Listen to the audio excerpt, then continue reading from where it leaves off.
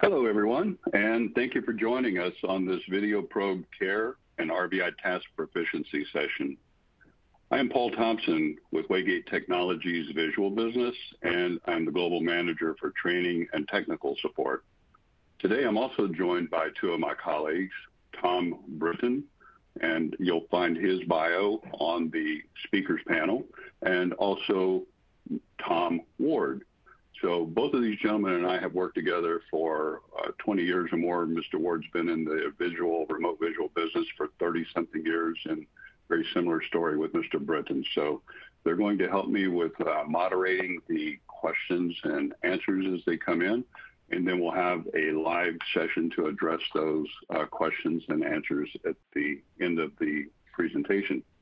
So before I go further, I want to make sure that I cover a few housekeeping items. You'll see at the bottom of your screen, there's multiple applications that you can turn on.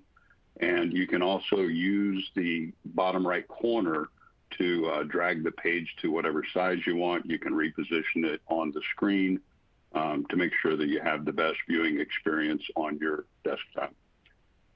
The materials that are going to be presented today um, in the slides are going to be available for download. You'll see a resources panel and make sure that you take a look at that material and download or link to the information to download. Also, if you have any questions during the webcast, you can submit them through the Q&A engagement tool. You'll see that link at the bottom of your screen to bring up the Q&A panel. And we'll try to answer all your questions during the webcast, but if a fuller answer is needed or if we run out of time, we will answer your questions later via an email. Um, unless you post a phone number, we'd also be happy to call you. You'd have to just put that in the chat whenever you're posting your question if you want a verbal callback. And so we keep track of all these questions so that we can make sure and get back with you and provide the information you've requested. Then at the end of the broadcast, you'll see a couple of tools where you can ask to book a meeting with one of my colleagues or have a virtual demo on your uh, virtual settings there in your office. So just click on the engagement tools and add your information and make your request. So with that, I'm going to get started and talk about RVI care and also the tasks that are commonly done. And when I say care, it's how do I take care of an asset that I've just invested significant resources in so that I get good life out of it and get the best results possible. So just a brief historical update so that you know who we are. And when I said I'm with Waygate Technologies, you know, our business started um, actually back in 1914, but Welch Allyn made the world's first video borescope in October of 1978. And then through a series of channel partners and mergers, mergers and acquisitions uh, between VIT and Everest Imaging, we became Everest VIT, became so successful that General Election, General Electric wanted us to be a part of the team. We came into that fold in 2005. Uh, we ended up in the oil and gas group with Baker Hughes, a GE company, and then that was then um, sold off from GE, and we're now fully a Baker Hughes business. That happened in January of, this year, actually. So we're new to the Baker Hughes family. And when we look at what is in the portfolio that you may use when you're doing a remote visual inspection, you know, it covers everything from a 0.4 millimeter optical instrument that you look through with your eye into the video borescope family there in the middle. That's where we're going to be spending today primarily. But we also have tools that you can, um, say, from a manway, look inside of a vessel, or from the ground, look up at potential damage on a horizontal stabilizer on an aircraft that's 30 feet off the ground. Uh, and then we also have people that show up in a van and come on site with you and do the work with you or for you. And all of this is captured in the digital twin and the software solutions are kept track of through a couple of different platforms that we have. But today, where we're going is I want to talk about historically with some of these video borescopes that you may be familiar with. We started with the XLG3. It was large and it was powerful, had a lot of light, had interchangeable probes, but people wanted something more portable, so we launched the XL Go. And then people said, well, we like the Go, but geez, that XL G3 had interchangeable probes. It had a lot of capability. So we rolled out the Mentor Visual IQ in 2014. Very powerful tool, touchscreen interface. That's what I'm going to be spending my time on at the end of the session, showing you a little bit of functionality. And then um, in 2018, we released a Flame handset, and we have just uh, announced that we're rolling out a new software update for this Flame colored handset. So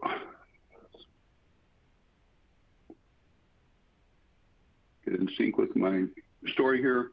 Just a storyboard of what's out there today in the world of portability and also versatility and capability. The two platforms that I am going to be referring to are this XL family of tools and also the Mentor Visual. I will be using an Analyze probe later today. And when you look at what's in those kits, there's a carry-on, there's a portable um, case that you can put in the overhead of a aircraft if you're going around the world somewhere, or a shop floor uh, workstation case. That's one configuration. Then on the more portable system, there's also a carry-on uh, workstation case that's available for those. It's a compact dual probe case. So you can find out more about those from our website and from the literature. I just wanted to give you an overview of what I'm going to be spending time on today. When you're looking at the mentor visual and you're looking at doing your job, there are a number of probe lengths and diameters that are available. And some of those tools actually allow you to put working tools to uh, retrieve FOD or to hook onto a turbine blade, pull the scope around the internal part of the engine so that you can do a full circumferential inspection. So various tools to do your job, and that's why we have that workstation and the compact dual probe because some people actually roll out with a 6.1 millimeter and an 8.4 or a 4 millimeter. So they'll have two different probes to do your job fully in the kit. So when I'm talking about doing your job, um, I'm curious to know when you go out to do a borescope inspection, can you just give me an idea of what are some of your typical borescope inspection tasks, just so I can get a feel for what's important to you when I'm talking about the actual live presentation earlier. Are you doing pipes and vessels around chemical plants, refineries? Are you doing wind gearbox or pulp and paper mill gearboxes, uh, working on jet engines or aeroderivative boilers and heat recovery steam generators or large gas turbines? Just trying to get a feel for uh, what's important to you.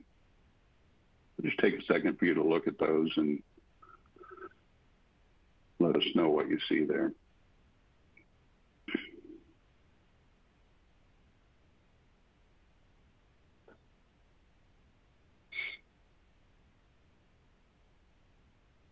still see that the uh, results are clicking up, so I'm going to wait just another minute so everybody has a chance to let me know what's important to you that you're doing regularly. Okay, so as they're still coming online, it looks like there's a mixed audience. Um, a lot of people doing a lot of different kinds of inspections and believe it or not, rotating machinery, whether it's in um, jet engines on wing or jet engines on uh, skids where they're generating electricity or injecting CO2 for compression. Those jet engines have a wide variety of applications, as do the large gas turbines. So, uh, yeah, thanks for sharing that with me. It helps me think through some of the live images that we'll show here in a little bit. So you've made an investment in a video borescope, and it's a significant investment. And what I'd like to talk about is how to protect that investment by cleaning it and protecting it. So in the world of video probe construction, I think it helps to understand uh, helps to understand what's behind the curtain, whether it's a small diameter 3.9 millimeter scope or a larger diameter 8.4. Internally, you have to have light. So it comes to a fiber optic bundle. It goes through the optical tip adapters and shines on the scene. So that image can then be, or the scene can then be illuminated and the light come back into your CCD imager. Okay. Okay. So lighting and imaging, great. But that's not the whole story. The other thing that's sitting back there are optical tip adapters. And these optical, optical tip adapters have multiple components. They're assembled by hand. They're precision optical lenses, much like you would find on a high-end Canon or Nikon or those kinds of cameras. And these optical tip adapters allow the camera to have a highly focused image come into the camera so that you can see it on your screen. And they also allow you to do uh, a number of things. Um, these bodies that are at the top have forward viewing and side viewing lenses. Uh, and then the thimble is that bottom threaded part. Okay. And you're saying, okay, Thompson, why are you talking to me about those? People sometimes forget to clean them every time they put them on and take them off of a scope. And that's one of the high wear areas. I'll show you a picture of these thimbles in a magnified scene in a moment. But the thing I want you to take away from that it's a significant investment, and if you take care of them, they have lasted 20 years or more. I've just seen it happen. And I've seen people wear them out over a course of a few months because they didn't clean the oil and sand out of those threads. So these optical tip adapters increase your versatility in the inspection so that you can look at multiple scenes with the same camera. They'll change the field of view, the depth of field, and also the direction of view, whether it's forward or side. And with the right optical tip adapter installed on the camera, these various lenses that you're looking at on the bottom of the page, the bottom left one is a 3D phase measuring lens. It will project a series of fringe patterns or shadows on a scene and very precisely and accurately be able to generate a point cloud and you may be asking, okay, what is a point cloud? Well, join me for the series on real 3D measuring, where I'll be going into a deep dive on how to be the person that gets the very best results and not be the person that rejects a million and a half dollar turbine engine by making a bad call. So we'll talk about that. But if you look at the picture of the lenslet laying on its side, there's a white bar up at about two and three o'clock that little white bar is holding micro pins, pogo pins, if you will, to provide power to those 3D phase generators. And then just outside around the perimeter, you see the threads that are holding that optical tip adapter onto the camera. So we're talking about lenses in some cases that have an OD of four millimeters or 3.9 millimeters. So cleaning them is paramount and taking care of them properly. So from there, let's talk about how the probe itself is constructed. There's a lot going on in there. You can see inside of that four millimeters, there's going to be four cables for pulling the camera up, down, left, right. There's going to be a supporting monocoil. There's going to be an outer layer of tungsten and braid. All of this goes out to the end of the insertion tube where the bending neck is uh, bonded onto it, and there's a series of beryllium copper wattle washers that allow the camera to articulate. And not only that, there is also lighting and camera action. So a lot going on inside of that.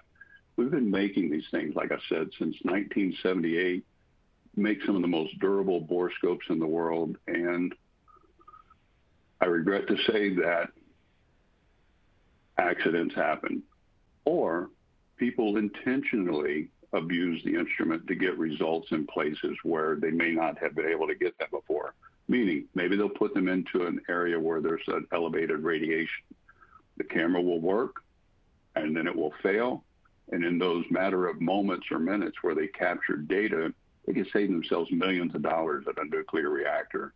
Or maybe you're feeding that same insertion tube inside of a turbine engine and it's wearing over time. So wear and tear does happen, but there's ways to mitigate that or minimize it. Let's talk about first the cleaning component.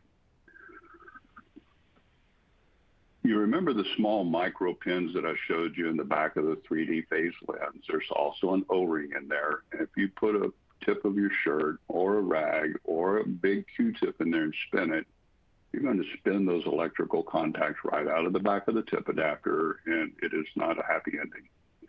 So what you want to use are the micro swabs on the left-hand side. They're available in this kit. Um, we don't manufacture these. We just buy them and put them together in a kit. So use alcohol, use micro wipes, whether you get them from us in an XA Clean kit or you get them from a high-end camera store. The bottom line is you want to use the right tool, and you'll see that I'll talk about doing this under magnification here in a moment. So when you're cleaning this, you're going to be looking at the joints on the bending neck. On the left-hand side, you're going to be checking it for fraying, you're going to be checking it for any kind of damage. You're going to be wiping them down um, with alcohol is what the manual calls for, a 70% isopropyl. Um, I like to think about it this way. What is the least aggressive thing that I can do to clean the tool? If I can use a soft, clean, lint-free cloth and get it completely clean, great. If I need to get more aggressive, use clean water on that same cloth. And then, if needed, go to the alcohol and water solution. And make sure when you're wiping that down, like the hand is showing in the right-hand side, feel for any kinds of kinks or dents or any kind of anomalies and have a discussion with your coworker or your manager to point it out and determine this is the analogy. Do I need to change the oil? In other words, do I need to do some preventive maintenance before it gets worse? And from there,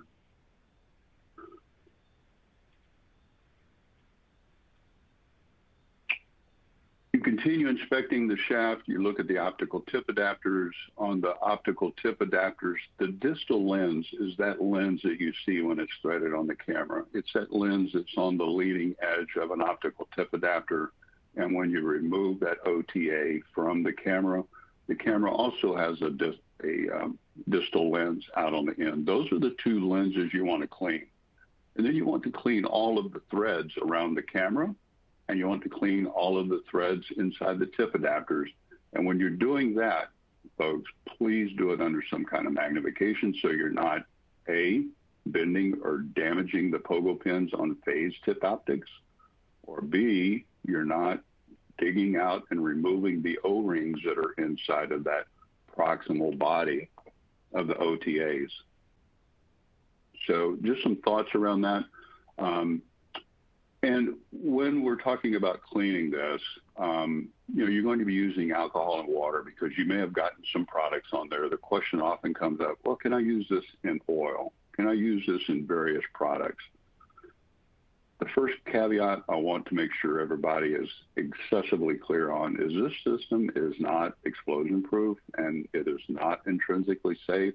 So when you look in the operator's manual, in this case, this manual has appendix Charlie for chemical compatibility, you'll see a lot of things that are hydrocarbons and do have a flash point that could ignite or combust with an ignition source. And so while we have tested it in avgas and jet fuel and a number of products, the system was inert. The system was turned off and de-energized. It was simply the insertion tube was laid in those products for 24 hours it was then removed and cleaned in the way I just described cleaning it with a cloth, a cloth in water, or a cloth with alcohol. And then it was returned to service with no noticeable damage to that insertion tube material. Again, when you're cleaning these optical tip adapters, here's a picture of what I was talking about. Those pins and I'll show you a bigger picture here because we've just talked about using the proper cleaning kit. Let me show you what the inside of that body looks like. When you're looking at the proximal body of a 6.1 millimeter, keep in mind this lens body, when you're looking at that backside, the ID is less than six millimeters because of the thickness of the material. You have on the lower left the threads that are in the thimble, And then the proximal lens is that window in the middle that lets the light come into the camera. And the light is going out through the light cane. Well, that light intensity is so significant that we realize we are putting out so much light, as a matter of fact, more light than most video borescopes, if not any on the market today. That light is spilling into the video path. So we created a um, we created a light dam, if you will, with an O-ring. And um, folks, since this is a live presentation, um, Tina or somebody on the call, can you send a link to Alexa? She's trying to get into the meeting. Sorry for the interruption, but I want to make sure that she's able to get in. Um, and then on the bottom right, there are pogo pins. Those are the ones you want to make sure that you're not spinning off and damaging Um, this is done under magnification. You're cleaning the proximal body of the lens only when needed. In other words, maybe you have a blurry image and your O-ring is still intact. Just simply clean the middle of that proximal window. Okay. So other preventive maintenance that you can consider is to look at the entire shaft, meaning the, the insertion tube, the bending neck, and the camera and look to see if there's any fraying. You know, in the picture you're looking at here on the bottom, this is something that tends to happen on uh, what's called an enhanced borescope inspection or an enhanced BSI. Um, or I've seen people feed the camera in around one or two stages in a compressor section. The edges of the blade are very sharp, and they just shove it in and out. And if you listen to it, you're going to hear it grinding versus gently rotating it back and forth, wiggling it in, and letting the crosshatch of the braid walk you in there. So you can cause premature wear by not paying attention to how you're pushing the camera across sharp sections. And, you know, this is an area that will wear over time. And to get that braid and sheath changed is something that um, you'll want to do before it causes larger problems larger problems, meaning if that bending that becomes separated, I've seen people put electrical tape on them. I've seen them do a lot of unusual things, and then they put it into a work area, and the tape or this braiding gets bunched up, and you can't get the camera out of the inspection area. Um, people have called our people to show up in a van and retrieve those cameras for them so that they can actually get that asset back online and get their camera back out and repaired. So over the last 20 years, these kind of things do happen. Damage does occur. And so you'll be seeing more information on a visual care and a visual care plus plan where these kinds of uh, tune-ups are available under those plans. So stay tuned for some information from one of my colleagues, Daniela Escobar, on that. Hey, Paul, this Looking is uh, Tom. I just had a, uh, a question came in, if you could just respond to it. Just uh, again, relative to um, damaging the probe and uh, potentially uh, cleaning it using incorrect chemicals, could you just address how we join together our probe and, why um, using aggressive chemicals could be a risk? Tom, I think that is a great idea, and I'll address it now, but also um, I'll get more thorough address it more thoroughly in about two slides. But um, so what Tom is referring to, if you're looking at um, my screen right now, I'm showing you on the left-hand side an insertion tube with what one might think of as a minor kink. Well, that braiding that you're seeing is a tungsten braid, and it is impregnated with polyurethane, and that is what creates the water tightness. In other words, this allows you to drop this assembly into um, one atmosphere or 30 feet of water, and it is watertight. We tested at the factory that way. These quote-unquote minor kinks will break down the polyurethane in some cases, and liquid can ingress there, migrate down the path of the insertion tube internally, and then cause failures of the camera because the camera has now has liquid inside of them.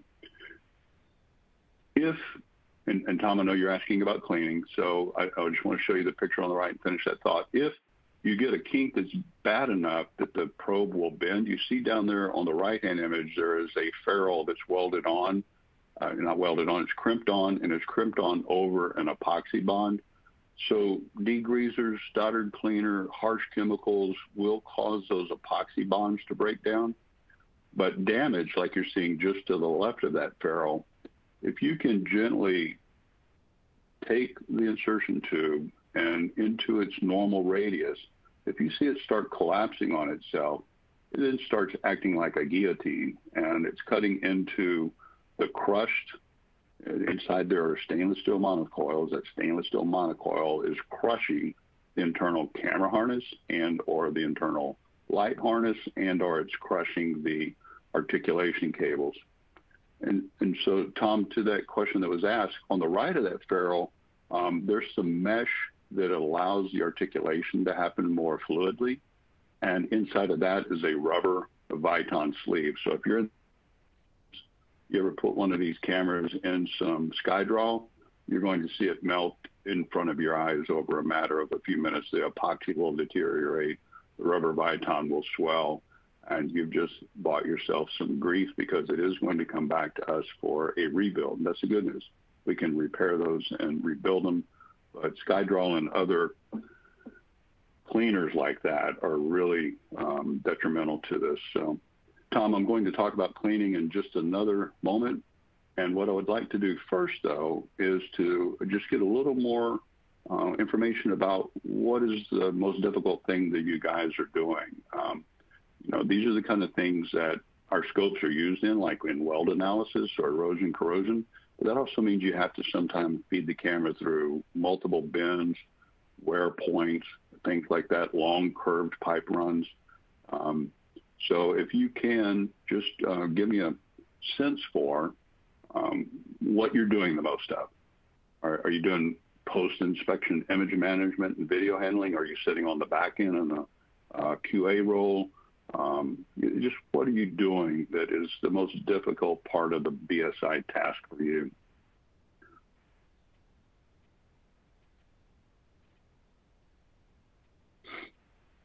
I'll give it just another moment here. I see the uh, poll is clocking up, and after it settles just for a second, I'm going to let you guys look at what our friends and colleagues on the call are doing. And, these tight paths through multiple stages of a blade, those are the ones that are absolutely uh, the most difficult for the exterior wear and tear on the insertion tube, on those epoxy bond joints, on the uh, braided sheet. And just think about walking the camera in place by gently rotating it left, right, left, right, you know, giving rotational axis as you're gently pushing the camera into place because what that's going to do is uh, help it walk across the braid. Try it sometime and listen to the camera. When you're pushing it in, you'll hear it grinding if you don't twist it.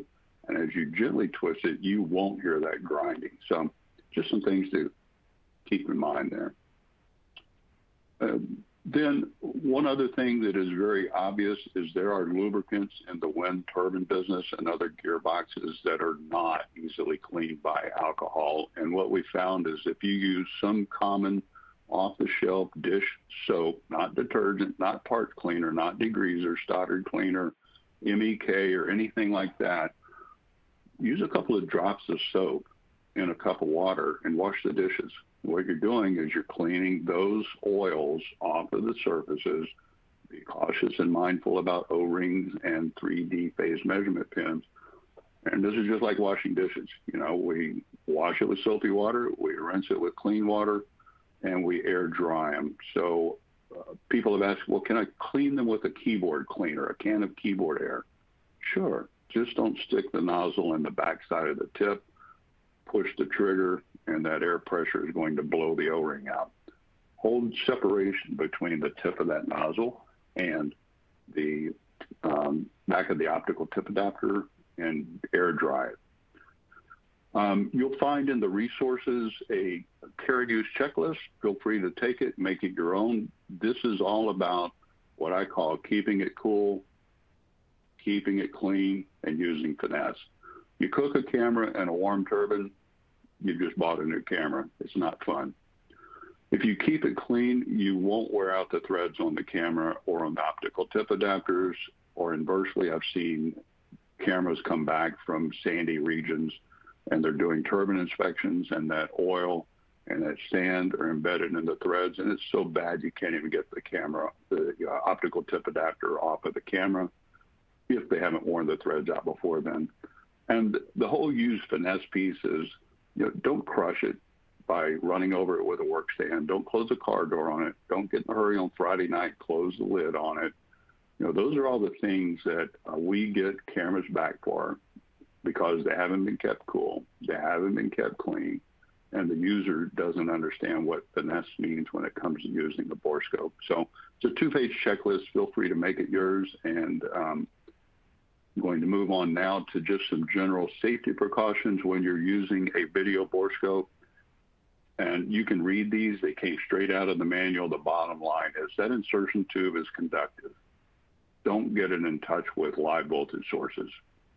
That insertion tube, if it fails, can be an ignition source. This system is not intrinsically safe, nor is it explosion proof. A general best practice is to use what we call home, which is going to return the camera back to a straightaway orientation. Use that before you extract the camera because if not, you have the cane handle, the tip articulated over in like a J configuration, and you pull that camera out of the work area, you are going to, there's just no doubt about it, you're going to stretch cables, you're going to wear out bending necks, and you're going to cause premature failure because that is not what I call finesse, is leaving the camera locked and pulling it out of a work area while it's locked. So straight out of the manual, just some basic things that can help you when you're out on the job.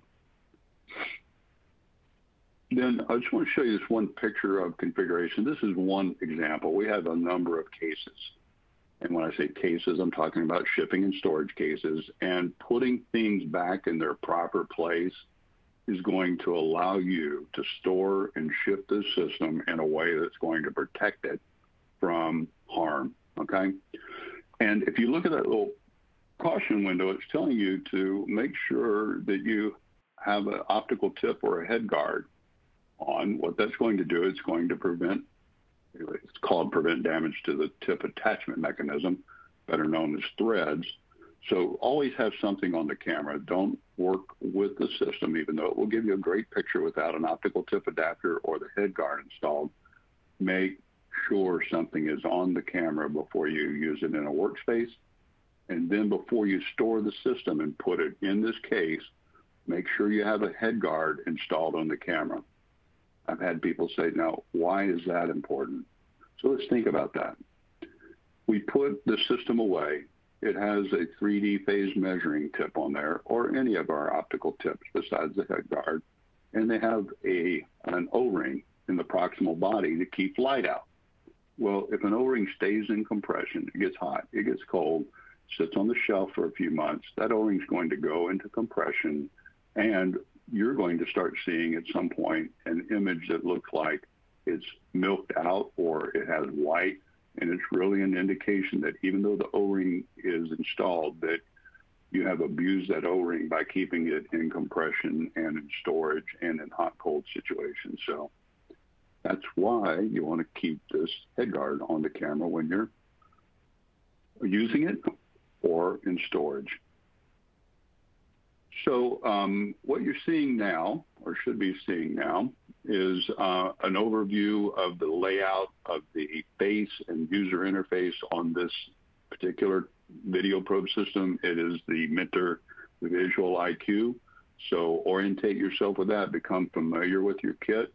Um, if you have any questions on what's in there and what each function for, reach out to one of your uh, sales professionals. Reach out to me. Let's talk about making this meaningful and useful to you. And these are the interfaces I'm going to be using here in just a moment.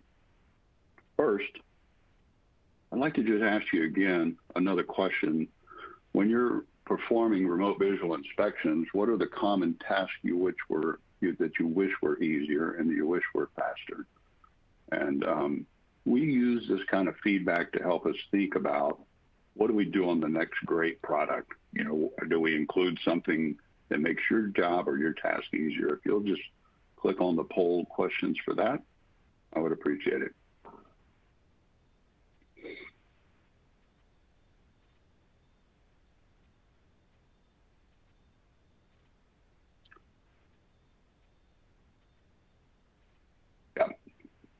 So they're rolling in. I am going to click over and show you what uh, I see coming in here.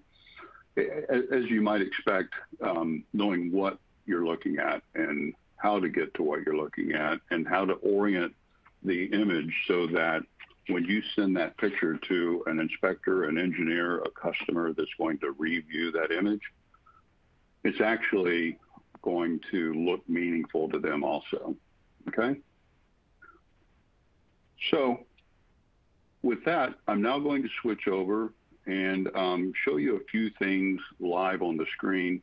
Um, and, Tom Britton and Tom Ward have been watching the chat questions. Tom and Tom, either one of you, is there anything I should focus on first? Because I'd planned on talking about um, how to annotate an image, how to save a quick digital video recording, how to rotate image overlays to that uh, last uh, poll question. People were understanding how to get orientation. No, Paul, I think that's, so Paul, uh, that, that, sounds great. Um, there are a couple of questions coming through, but I think it, it makes sense to uh, related to the care and maintenance, but I think we maybe save those till the end. Okay, and Tom Britton, I think you were going to share something also. Yeah, just just because you were talking about uh, the uh, oil oil capabilities and the waterproofness, there was one question about is the probe oil damp resistant, and if you could just restate the uh, the waterproof capability and uh, oil proof capability. Yes, um, Tom, great question, and thanks for asking that. Whoever posted that. So, if you're holding one of our video borescopes in your hand um, because the display and the probe are integral on our kits today. Coming off of the back of the display is a torsional strain relief. It allows you to rotate the insertion tube uh, 90 degrees one way or the other without damaging that mechanical interface of the shaft to the body. From that shaft at that point, meaning the insertion tube part of the shaft, all the way out to the distal end where the camera is on the shaft, you have three pieces. You have the insertion tube, the bending neck, and the camera. All three of those components, when they're sealed together and working properly, are considered IP65, meaning the ingress protection against dust is at six, and against moisture and water is a five, and it is also watertight and tested to 14.7 psi or one bar, meaning that you could drop that camera in 33 feet of standing water, okay?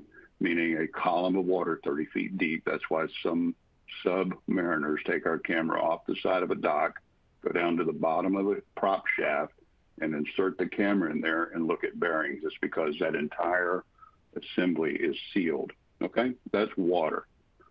You start talking about oils, and not all, all oils are created equally inhibited transformer oil, like in an electrical transformer, I've inserted the camera and submersed the whole thing in that inhibited transformer oil. You can see severely clearly through that oil, motor oil on your car, lubricants on turbine engines. The one oil I'm very familiar with is a hydraulic oil that is called Skydrol. It is a vegetable-based hydraulic fluid, and because it's vegetable-based, the preservatives in it are let's call it aggressive. They will just eat that entire shaft up, the polyurethane, the Viton rubber, the epoxy bonds. And so if you look at the list in the chemical compatibility table that is in the presentation here or in your manuals, you'll see what we've placed it in. And the caveat to that again is that the system is not considered intrinsically safe nor explosion proof when it's energized. So I hope that answered the question on that. And if not, um, just post another follow-up question or comment on that, and we'll talk about it some more. So, um, Tom Britton, I heard you last. Are you seeing my screen with some metallic objects in the front of it? No, I see a live demonstration uh, uh, cover page. Okay. And let me just go back and uh, change my screen share functionality. It worked earlier. I'm counting on it working now. When I click share,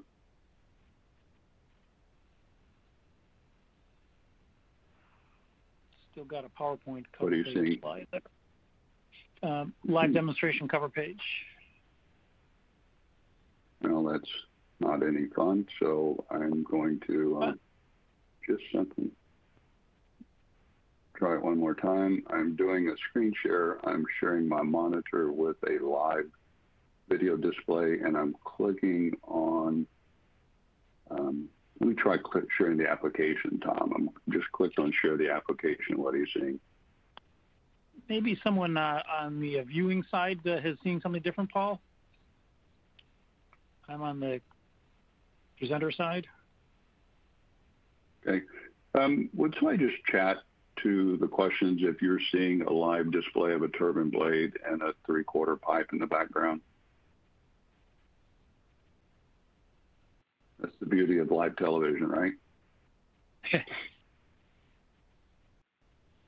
and Tom or Tom, will you look in the chats and see if somebody's telling us what they see? Yeah, I'm not getting any uh, chat input yeah. yet. No one's seeing anything yet, Paul. If any of my colleagues are on team, will you chat what you're seeing in the team chat to me directly, please?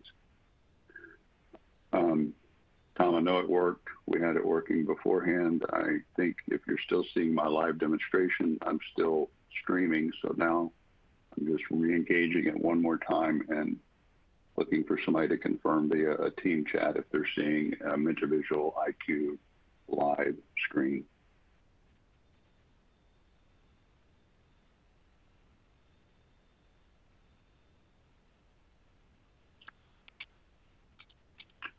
Um, and Tom and Tom, if you don't have one, I'm going to talk through what I'm doing. It will should be we are not seeing anything. That's very interesting. So, Gina, I don't have any answers to that magic. And so, um, with that, I'm going to leave it on sharing just in case it does come up. And Dennis or Jessica, um, they're both telling me they're not seeing it.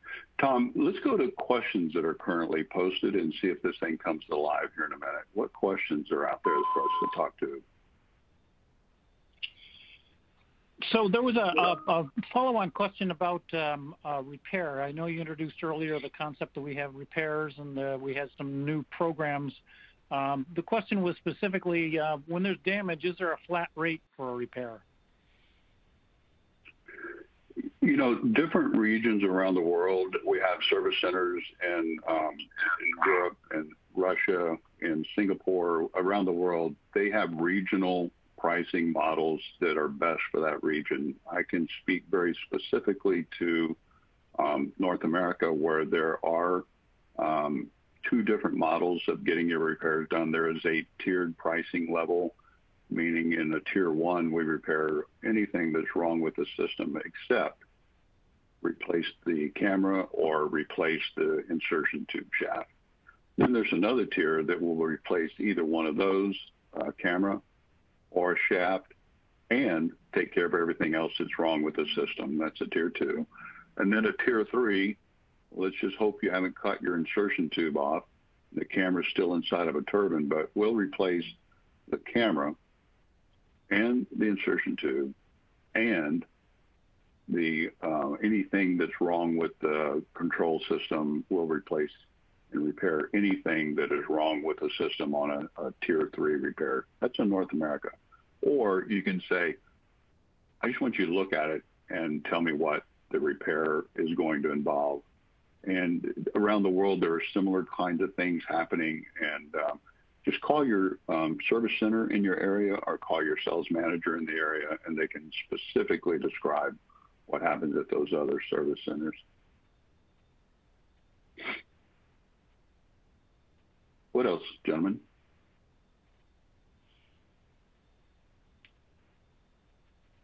Tom or Tom? Um, so there was just a question. Could you talk about care during packing it up? Uh, concerned about twisting the probe while actually putting it back into the case.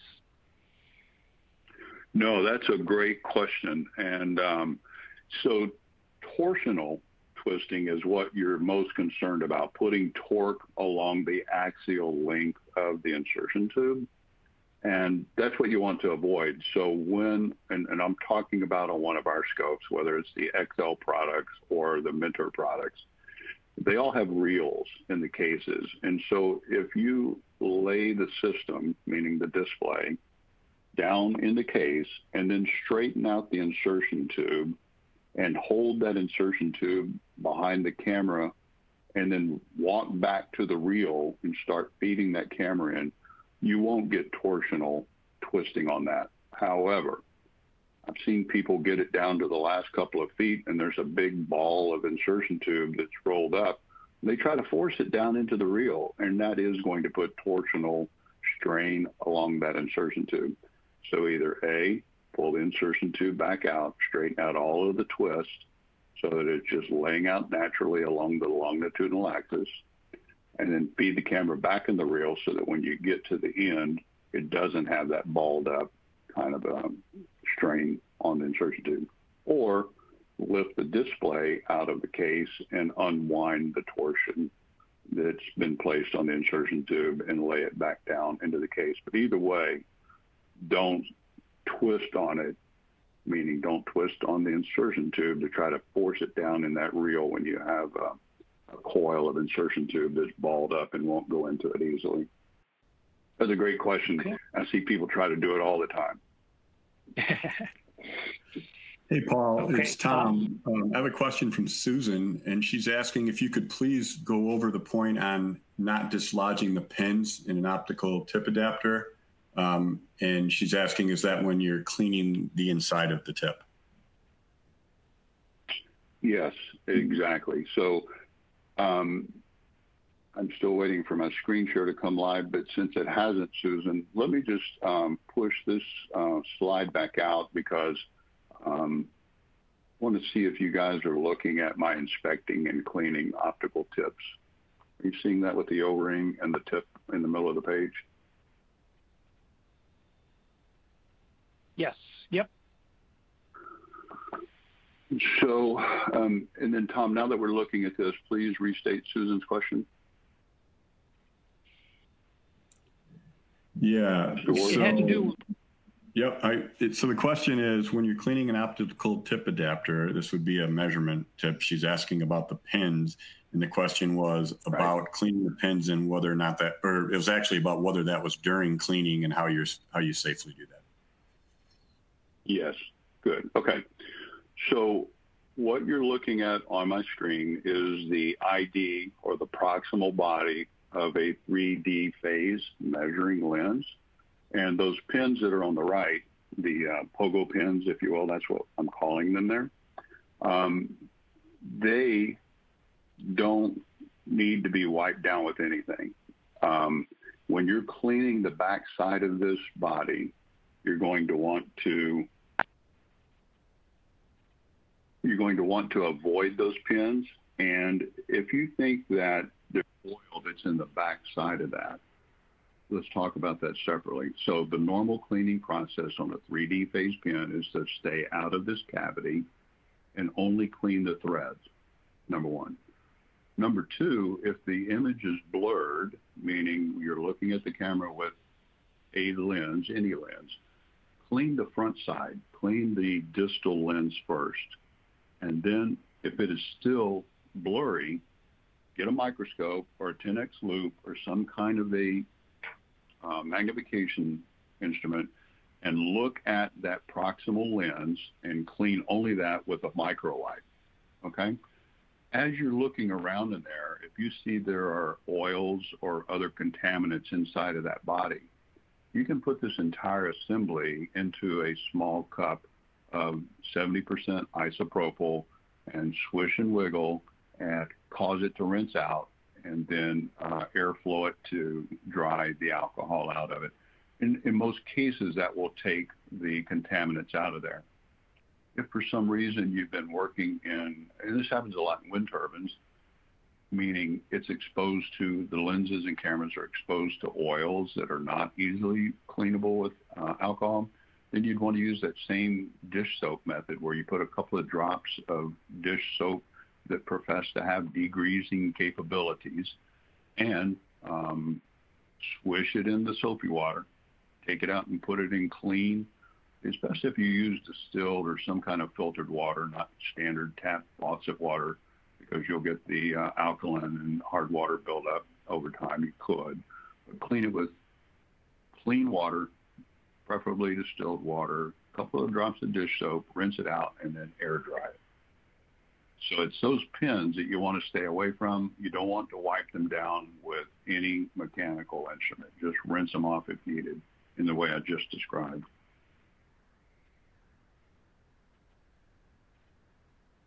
And Tom and Tom, anything else? Yeah, you, are you ready to take more questions, Paul? Yes, sir. I'm still trying to get my um, live display to come up, Tom, but let's take another question or two while I'm playing with that technology. Yeah, so I have a question from Mark. Um, he's asking about 3D uh, and or stereo measurement. Um, what he's asking, and I'll take a crack at answering it, Paul, and then you could please add color as needed. So he's asking okay. to evaluate damage in a turbine engine, are there recurrent calibration requirements or periodic maintenance that would affect accuracy of measurement?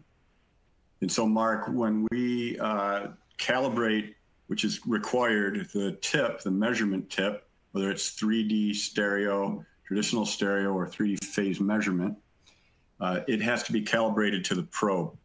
And so we do that in the factory, whether it's being repaired or whether it's a new system. Once you receive the system, you'll note that there's a verification block that's with the system. And it's best practice to always use that verification block to verify the accuracy of the system. And you'll see that there's some little targets in there to allow you to do that very easily and in an automated way. As long as that is, uh, if you follow that best practice and your measuring accuracy is within the tolerances of that block, uh, there is no need to do any periodic maintenance there. Um, if there's a calibration requirement, that would typically be if you're buying a new tip, new probe, or having some repair done. Paul, any anything to add to that? Tom, I think that's pretty clear and thorough. Okay. Um, I have another question. Um, this is just a general uh, comment. Paul, maybe you can uh, help with this one and related to care and maintenance. Um, Raphael says, I have frequent oil infiltration in my probe. And Raphael, it might be handy if you tell us what your typical application is where you're getting this infiltration. But Paul, do you have any comments on how you might avoid oil infiltration in the probe? Yeah, Tom, that's a great question because there are inspection requirements where the camera is absolutely going to be exposed to liquids, whether it's oil or, or otherwise. And so my first thoughts are that something about the insertion tube is not watertight. Um, it's easy to tell if there's damage by just taking a, a, thin shop towel, lightly moistened with, I start with water. I use alcohol as a last resource if it's not coming clean. Put some water on a shop towel, start at the torsional relief section all the way back at the camera body, and walk your hand or slide it down with light pressure. Don't squeeze it because you'll miss the nuance of any damage or fraying or anything that's on there and walk your hand along the whole length of that insertion tube. If you feel kinks and dents, it could be that your insertion tube's leak tightness has been um, degraded from damage to the insertion tube. Um, similar kind of thing can happen out on the bending neck, if and it's harder to tell. If there's no damage on the bending neck, usually, Raphael, the um, Viton sleeve inside is not damaged unless it's been exposed to some chemicals that have caused it to degrade, and you wouldn't be able to see that. And then lastly, depending on which camera and optical tip adapters you have, um, Tom Ward being the product manager for these um, optical tips and, and, cameras in the past, you know, we've gone off and um, employed or deployed, if you will, newer epoxies. Like if you're looking at that proximal lens, around that proximal lens is an epoxy bond that is holding the O-ring into the outer channel.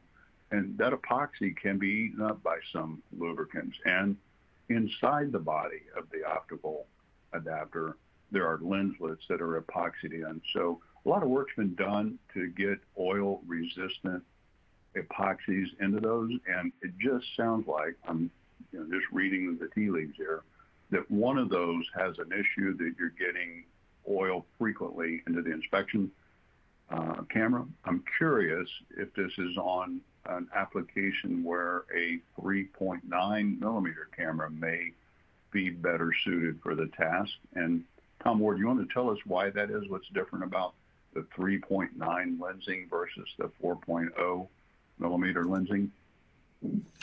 Yeah, thanks, Paul. And uh, Raphael's gotten back and saying his application is in a gearbox, of a wind turbine, which I suspected. So um, it, it, also may be, and, and Raphael, if you want to have a more personalized, deeper conversation on this, um, we can uh, connect offline here and talk through uh, specifically what's going on, bring in our technical support experts, and and probably give you even more detail here.